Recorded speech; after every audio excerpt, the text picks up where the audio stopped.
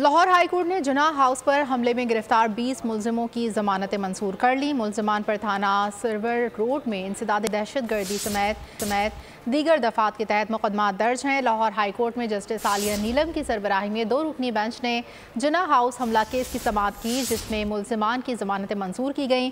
अदालत ने तैयबा राजा इफ्तारुल हसन, समिया आसिफ, सईद हसन, अज़ीज़ और इजहारुल हक समेत दीगर मुलजमों को जमानत पर रिहा किया।